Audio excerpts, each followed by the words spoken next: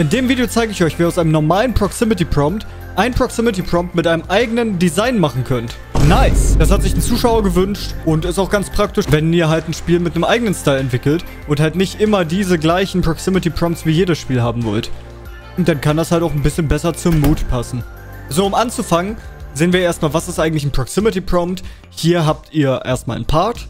In dem Part drin könnt ihr ein Proximity Prompt platzieren. Die heißen so, könnt ihr über Plus Prox eingeben und den dann hinzufügen. Und dieser Proximity Prompt macht dann halt wirklich schon dieses GUI, der Spieler damit interagieren können. Das Proximity Prompt kann man auf verschiedenste Weisen bearbeiten. Man kann den Action Text einstellen, das ist das, was da steht. Man kann auch den Object Text einstellen. Hier, das ist dann nochmal so ein kleiner Text da drüber. Hier stellt man ein, mit welcher Taste das Proximity Prompt aktiviert wird. Hier könnt ihr noch einstellen, ob man es einmal klicken muss oder vielleicht 234 Sekunden lang gedrückt halten muss. Hier ist natürlich dann noch der Keycode fürs Gamepad, wenn Leute mit einem Controller spielen. Man kann es enable, man kann es clickable machen, dass man einfach, einfach raufklicken kann. Man kann Offset einstellen, man kann die Distanz einstellen, wie nah man rangehen muss, damit man das Proximity Prompt überhaupt sieht. Man kann Exklusivität einstellen, dass man einen Proximity Prompt pro Knopf hat. Man kann einen global machen, Always Show. Könnt ihr alles einstellen. Und vor allem könnt ihr den Style einstellen von Default auf Custom. Aber wenn ihr es auf Custom stellt, ändert sich erstmal gar nichts, weil dann ist das Ding einfach unsichtbar. Und da kommt jetzt der schwierige Part. Wie macht man einen Custom Proximity Prompt? Dafür müsst ihr zuallererst ein Billboard GUI erstellen. Wir gehen jetzt mal hier zu diesem Block, zu dem Prompt Part hier. Da klicke ich einmal rauf und füge einen Billboard GUI hinzu. Das ist dann einfach nur ein GUI, das in diesem Block erscheint, genauso wie ein Proximity Prompt auch. Und wie in jedem GUI müsst ihr natürlich hier nochmal Plus drücken und erstmal ein Frame hinzufügen. Und dann seht ihr schon, da ist es auch drin. Es ist jetzt komplett drin. Was ihr beim Billboard GUI einstellen wollt, ist erstmal Arrays on Top. Dafür macht ihr hier ein Häkchen, damit es immer im Vordergrund ist. Und dann könnt ihr das ganze Ding auch gestalten, so wie man halt GUIs gestaltet. Ihr stellt die Size ein. Zum Beispiel können wir jetzt sagen, wir machen einfach mal eine relative Größe hier. Wenn wir mal lustig, nehmen wir mal 3x3. Das ist dann ziemlich groß. Im Frame müsst ihr natürlich auch wieder alles genauso einstellen. Und dann müsst ihr zu dem Frame natürlich alles mögliche hinzufügen. Da ich jetzt keinen Bock habe, das ganze Ding zu gestalten, ich habe ja schon öfters gesagt, GUIs mag ich nicht, habe ich das ganze Ding natürlich schon vorbereitet. Hier im Starter-GUI ist schon mein fertiges Billboard-GUI drin. Wenn ihr das einfach runterladen wollt, guckt in der Videobeschreibung nach. Mitglieder Tier 2 oder Tier 3 können das dann einfach herunterladen. Und ich klicke hier einfach mal rauf. Gehe dann auf Enable, damit ihr sehen könnt, so habe ich das Ding gestaltet. So sieht das hier aus. Und um sicherzustellen, dass das Ding auch angezeigt wird, obwohl es im Starter-GUI ist, hat Billboard GUI noch eine Eigenschaft, die andere GUIs nicht haben. Ihr klickt hier rauf und dann habt ihr hier Adorny. Und auf Adorny könnt ihr raufklicken und dann das Part auswählen, wo es angezeigt werden soll. Ich kann zum Beispiel auch hier den Zaun nehmen und dann ist es hier auf dem Zaun drauf. Ansonsten verhält sich das wie ein ganz normales GUI. Meins besteht jetzt aus dem Frame, aus einem Action-Text und einem Key. Ihr könntet theoretisch noch einen Object-Text machen. Ihr könntet dann noch irgendwelche lustigen Indikatoren, wie lange man gedrückt hält, machen. Aber das Tutorial soll jetzt keine Stunde gehen. Deswegen machen wir weiter mit dem, was wir haben. Und zwar mit einem fertigen Billboard-GUI. Und, und nun schreiben wir ein Billboard-Script. Hier ist das schon drin. Ich schreibe das mit euch einmal zusammen neu, damit ihr wisst, was zu tun ist. Also klicken wir hier aufs Plus. Local Script, das benennen wir dann natürlich um in Billboard Script. Print Hello World kommt weg. Und wir brauchen hier drin nur einen Service, und zwar Local Prox, den Proximity Prompt Service. Der sieht so aus. Dann müssen wir uns natürlich erstmal das Billboard GUI holen. Local Billboard GUI ist gleich script.parent. Hier mal so einen kleinen Abstand. Und wir cachen uns die Prompts, die angezeigt werden, weil uns so ein Cache die Arbeit wirklich erleichtert. So haben wir jetzt local angezeigte Prompts, ist gleich ein leerer Table und schreiben jetzt unsere erste Funktion. Wenn dieses Billboard GUI angezeigt werden soll, dafür hat Proximity Prompt Service ein Event, dann wird ein Event gefeiert und an das Event koppeln wir eine Funktion und die nenne ich jetzt Function Prompt erstellen. Wir könnten es auch Prompt anzeigen nennen, aber erstellen trifft es eher, weil wir ein neues Prompt erstellen. Und es nimmt die Argumente rein Prompt. Das ist ein Proximity Prompt. Und es nimmt auch noch den Input-Type des Spielers rein. Und jetzt sagen wir if prompt.style ist gleich ist gleich enum. Proximity Prompt Style. Default, then Return End, weil wenn wir das Ding auf Default haben, wollen wir ja kein Custom Proximity Prompt haben. Das sorgt nur dafür, dass wir am Ende zwei Prompts haben und das wollen wir nicht. Und jetzt fügen wir noch eine Bedingung hinzu, unter der wir einfach abbrechen und zwar indem wir hier schreiben or angezeigte Prompts in eckigen Klammern Prompt. Weil hier wollen wir ja die Prompts, die schon angezeigt werden, drin cachen. Und wenn wir schon einen angezeigten Prompt hierfür haben, dann brechen wir ab. Ob das jetzt wirklich passiert, weiß ich nicht. Ich habe mich nicht so sehr mit dem Service auseinandergesetzt, aber ein bisschen Misstrauen schadet nie. Nun erstellen wir uns ein neues Billboard GUI. Also local billboard ist gleich billboard GUI Doppelpunkt clone. Local frame ist gleich billboard.frame. Ihr könnt auch doppel... Ja, wir machen es sicher. Wir machen es sicher. Doppelpunkt find first child frame. If not frame, then return. Waren billboard GUI nicht korrekt aufgebaut. End natürlich. So, jetzt haben wir unser Billboard GUI geklont. Als nächstes müssen wir es natürlich noch anpassen. Also sagen wir jetzt frame.actiontext.text ist gleich prompt.actiontext. Wir übernehmen jetzt einfach die Daten aus dem Proximity Prompt an sich. An der Stelle, wenn ihr ganz sicher gehen wollt, könnt ihr hier auch noch checken, ob Actiontext und Key existieren. Oder halt, falls ihr noch irgendwelche anderen Texts oder irgendwelche anderen Sachen hier in dem GUI drin habt, dass die auch existieren, könnt ihr checken. Ich mache es jetzt nicht, weil bei mir ist es auf jeden Fall da. Das ist ja eigentlich auch nur während der Entwicklung wichtig. Im laufenden Spiel wird das Ding nicht verschwinden. Also frame.key.text.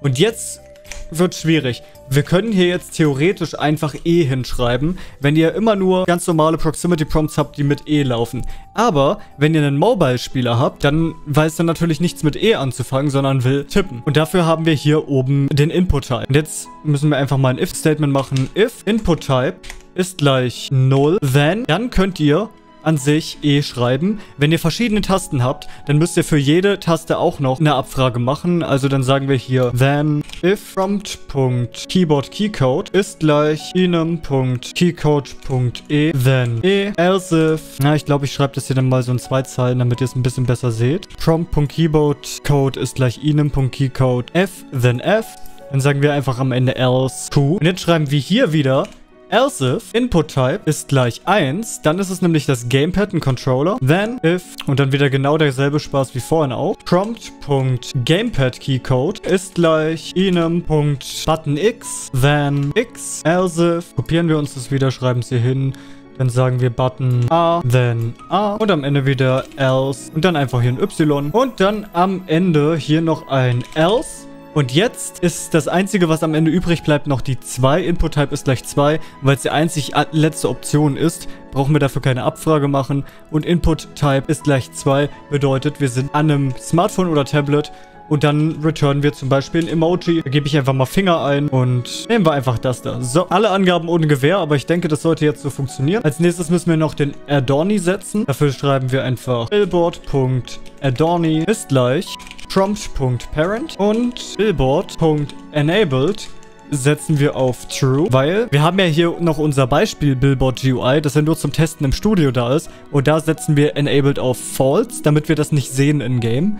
Und wenn wir dann eine Kopie davon machen, müssen wir Enabled wieder auf True setzen. Als allerletztes Billboard.parent ist gleich Billboard GUI.parent. Und das ist halt das Player GUI vom Spieler. Jetzt müssen wir nur noch dafür sorgen, dass dieses angezeigte Prompts ja überhaupt Sinn macht. Also gehen wir nochmal eine Zeile runterschreiben, angezeigte Prompts in eckigen Klammern. Prompt ist gleich Billboard. Und damit wird das ganze Ding noch angezeigt. Jetzt wird es noch ohne Animation angezeigt, aber zu der Animation kommen wir später. Denn vorher ist es viel wichtiger, dass wir jetzt noch eine Funktion schreiben, um es wieder auszublenden. Also Local Function Prompt vernichten. Das wird jetzt nämlich komplett vernichtet. Und da nehmen wir mal wieder das Prompt rein, vom Type Proximity Prompt. Jetzt sagen wir if not angezeigte Prompts in Klammern Prompt, then return end. Weil wenn wir keinen Prompt zum Anzeigen haben, dann haben wir auch nichts zum Vernichten. Und falls wir es doch haben, dann kopieren wir uns das hier direkt nochmal raus. Und genau dafür ist der Cache da, damit wir es sofort greifen können und sagen können, angezeigte Prompts, Doppelpunkt, Destroy. Im Anschluss müssen wir den Cache natürlich noch clearen, indem wir dasselbe jetzt nochmal auf Nil setzen, weil sonst könnt ihr das Prompt nur einmal anzeigen und einmal ausblenden und dann haben wir einen Debounce geschaffen, der sich nicht mehr aufhebt. Und am Ende müssen wir das Ganze noch connecten. Das heißt einmal prox.promptShown Prompt shown, Doppelpunkt. Connect, Prompt erstellen und prox Doppelpunkt Prompt hidden, Doppelpunkt connect, Prompt vernichten. Und damit ist der Basic-Aufbau getan. Wir haben jetzt diese Funktionen hier geschrieben, dieses Script hier. Ich gehe einmal noch hier rüber. Ihr seht, da ist nur das F abgeschnitten bei dem else sonst ist alles im Screen.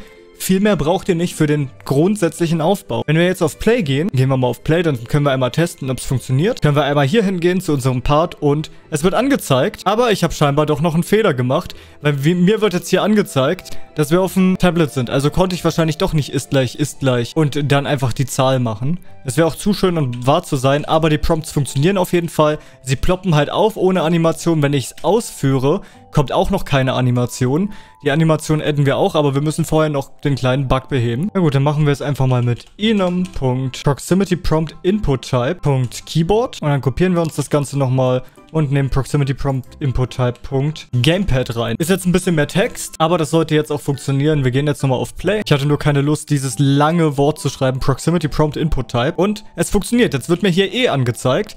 Wir können jetzt einmal auch noch den Test machen, ob das auch funktioniert, wenn ich jetzt hier diesen Part nehme, dupliziere, rüberschiebe und dann bei dem Proximity Prompt hier das Ganze von E auf F ändere und dann nochmal auf Play gehe. Dann haben wir hier E und hier haben wir F. Und es funktioniert. Er zeigt es mir richtig an. Macht das Ding hier aber mal wieder weg. Und jetzt wollen wir das Ding noch so ein bisschen animieren, damit es nicht ganz so steif aussieht. Und dafür erstmal eine Anzeigeanimation. Die ist ziemlich einfach, weil da werden wir einfach das von klein zur normalen Größe rüber tweeten. Und dafür cachen wir uns einfach mal die aktuelle Größe. Indem wir hier schreiben local size ist gleich frame.size. Danach setzen wir frame.size auf was Kleines. Na, machen wir es mal mit Minus ist gleich Udem 2. From Offset. Dann sagen wir mal 30,30.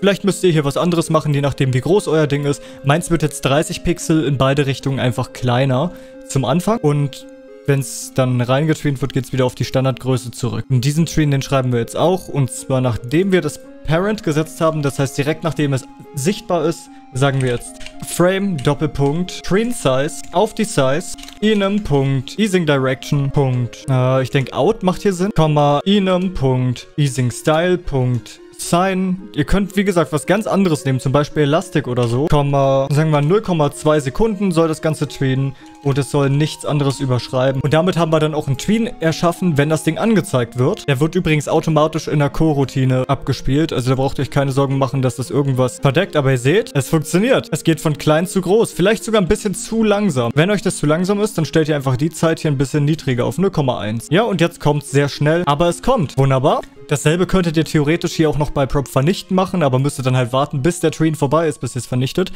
Aber wir wollen jetzt noch eine Funktion schreiben, die das Ding dann noch so ein bisschen wackeln lässt, wenn man es aktiviert. Beziehungsweise ich werde mal wieder nur die Size treaten, weil es einfach leichter ist. Und die heißt Local Function Prompt Get Triggered. Und die nimmt den Prompt rein vom Type Proximity Prompt. Hier holen wir uns erstmal das Billboard GUI. Local Billboard ist gleich angezeigte Prompts in eckigen Klammern. Prompt dann sagen wir als nächstes, if not billboard, then return end. Weil wenn das Ding getriggert wird und direkt danach ausgeschaltet wird oder falls es eine Funktion triggert, die das Prompt direkt zerstört, dann brauchen wir das hier wirklich nicht ausführen. Das macht dann keinen Sinn an der Stelle. Und weil wir gleich was mit dem Frame machen werden, sagen wir auch direkt or not billboard, wichtig nicht billboard GUI, sondern billboard, Doppelpunkt, find first child in Klammern frame. So, also wenn das Billboard nicht mehr existiert oder halt nicht mehr gecached ist oder in Billboard kein Frame mehr drin ist, dann returnen wir zum Ende und machen jetzt den Train. Und da könnt ihr einfach das von hier oben kopieren und dann ein bisschen umschreiben, damit es euch passt. So, also wir trainen die Size vom Billboard auf billboard.frame.size plus udem 2.offset 5 Pixel größer mache ich das jetzt. Wenn ihr es stärker machen wollt, könnt ihr es auch größer als 5 Pixel größer machen. Easing Style Out Sign habe ich und ich habe es wieder 0,1 gemacht. Wir können vielleicht auch mal 0,05 probieren. Und dann müssen wir danach auch so lange warten, wie wir trainen. Das heißt task.rate 0.05, weil wir hier 0.05 trainen. Und dann müssen wir genau diesen Train wieder rückgängig machen. Und dafür kopieren wir uns das Ganze und schreiben hier dann einfach ein Minus hin, um die 5 Pixel wieder abzuziehen. Wichtig, Innerhalb dieser 0,05 Sekunden kann es ja sein, dass das Billboard GUI nicht mehr angezeigt wird oder zerstört wurde. Und deswegen müsst ihr noch einmal genau das hier kopieren und hier nochmal abfragen. Und das wär's dann. Also hier könnt ihr nochmal sehen, das sind die Tweens, die ich geschrieben habe. Und das sollte jetzt funktionieren. Ich mache die Tweens mal ein bisschen größer. Sagen wir mal 8 Pixel, damit ihr es auch deutlich seht. Und zuletzt müssen wir das Ganze nur noch connecten. Dafür schreiben wir hier unten prox.prompt triggered Doppelpunkt connect Prompt getriggert. Dann ist das auch connected und jetzt sollte es funktionieren. Das heißt, wir gehen jetzt einfach mal zu unserem Part. Hier wird es angezeigt, ich drücke E und bam. Ihr seht, es geht klein hoch. Ich, ich spam jetzt mal. Es funktioniert. Aber ihr seht, wenn man jetzt so richtig schnell spammt, ja, dann gibt es Probleme. Deswegen könnte man den Code an der Stelle noch ein bisschen verbessern. Vielleicht wisst ihr selbst, wie man es fixt. Vielleicht wisst ihr es nicht. Kleiner Tipp. Die Originalgröße cachen. Ja. Na komm, ich zeig's euch einfach mal. Wir sagen jetzt einfach Billboard GUI. Punkt. Frame.size und damit ist das Ganze gefixt, weil wir haben hier oben ja immer noch unser Billboard GUI, das ursprüngliche Billboard GUI und von dem können wir uns einfach die Größe stibitzen und dann gibt es diesen Fehler einfach nicht mehr. Das ist jetzt so die einfachste Lösung, die es gibt. Man kann es sich kompliziert machen, aber man kann es auch einfach machen. Also so, jetzt kann ich spammen, wie ich will und es passiert nicht mehr. Also brauche ich mir da auch keine Gedanken mehr machen. Also kann ich jetzt einfach reingehen in mein Haus, die Lichter anmachen. Wunderbar. Kann hier so ein bisschen keine Ahnung, was man an dem Tisch macht. Ich habe das ja einfach so gebaut, weil mir danach war. Im Nachhinein denke ich mir so, warum habe ich das getan? Das hat so lange gedauert, das hier alles zu bauen. Ich habe hier locker 5, 6 Stunden dran gesessen, das alles zu basteln. Und das eigentlich nur, um euch hier solche Billboard-GUIs zu zeigen, die dann eine Falltür aktivieren können. Also falls ihr mein Billboard-GUI zusammen mit diesem ganzen Haus hier herunterladen wollt, guckt in der Videobeschreibung nach. Mitglieder Tier 2 oder Tier 3 könnt es da dann einfach runterladen. Ich hoffe, es hat euch gefallen. Wenn ja, dann lasst ein Like da, abonniert meinen Kanal. Bis dann und ciao!